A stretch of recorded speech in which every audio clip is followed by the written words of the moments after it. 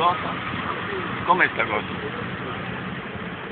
In che senso questo? Le città grandi quali sono? Vabbè, niente, se grande non so se possono essere definite. San Cristo della Casa è già una cittadina abbastanza grande per le dimensioni che ho visto eh, in Ciapas. Eh, San Cristobal c'era addirittura una piazza dove c'era un gruppo, c'era una bella protesta, devo dire, una bella protesta, eh, avevano occupato una piazza, in modo c'erano le tende, una cucina da campo eh, e chiedevano giustizia per eh, quanto pare c'erano stati dei moti repressi in modo abbastanza violento. Eh, niente, ma era molto bello perché era molto partecipato, tutto sommato mi sembrava ecco, qualcosa per noi fuori tempo.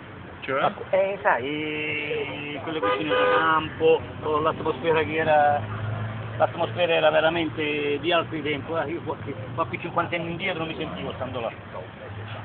Sì, sì, ciao. Ya basta la rivoluzione zapatista. All'alba del 1 gennaio 1994, giorno dell'entrata in vigore del NAFTA, North American Free Trade Agreement, il trattato di libero commercio tra Canada, USA e Messico, migliaia di persone incappucciate invadono e occupano diverse città dello stato del Chiapas, nel sud del Messico. Un'operazione a sorpresa della città di Ocosingo, Altamirano, Comitán, San Cristóbal della Casa, e le altre sono occupate e cadono sotto i controlli di un gruppo guerrigliero. Al palazzo municipale di San Cristóbal della Casa della Casas, il subcomandante insurgente Marcos, portavoce degli insorti, legge la prima dichiarazione della selva lagandona. Si chiama Esercito Zapatista di Liberazione Nazionale. Solo sono per la maggior parte indigeni, dichiarano guerra all'esercito federale. L'obiettivo è avanzare su città del Messico per i diritti elementari, casa, terra, alimentazione, salute, educazione, lavoro, autonomia, dignità, democrazia, giustizia e libertà.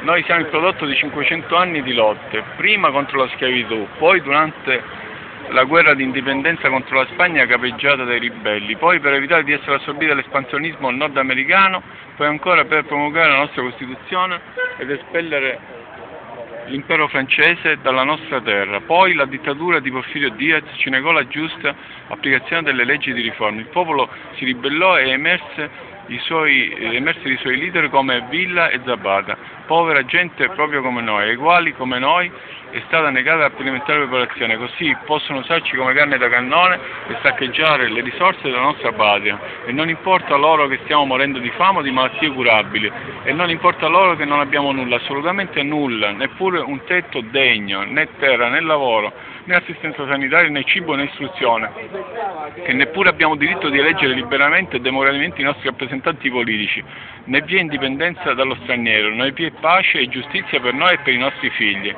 ma oggi noi diciamo basta, noi siamo gli eredi dei veri costruttori della nazione.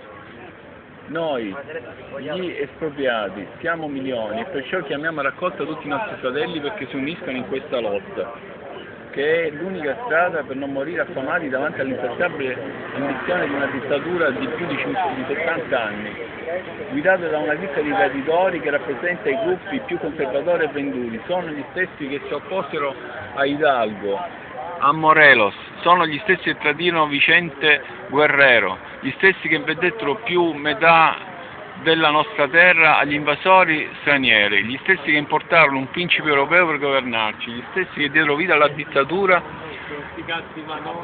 degli scientifici porfiristi, sono gli stessi che si opposero all'espropriazione del petrolio, che massacrarono i ferrovieri nel 1958 e gli studenti nel 1968, sono gli stessi che oggi ci spogliano di tutto, assolutamente di tutto.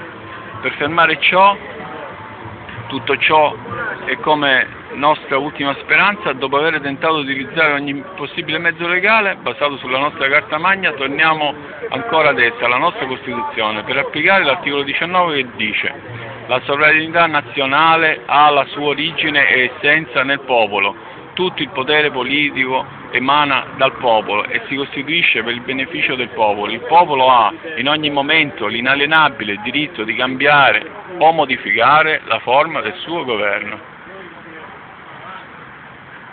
Pertanto, nello spirito della nostra Costituzione, emettiamo la seguente dichiarazione di guerra all'esercito federale messicano.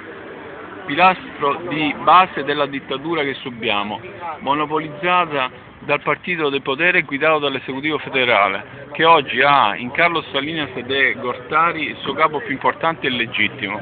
Coerentemente con questa dichiarazione di guerra chiediamo agli altri poteri della nazione di adoperarsi per ripristinare e legittimare la stabilità della nazione, deponendo il dittatore. Chiediamo anche alle organizzazioni internazionali, alla Croce Rossa internazionale, di sorvegliare e regolare i combattimenti con le nostre forze che le nostre forze librano assicurando la protezione alla popolazione civile.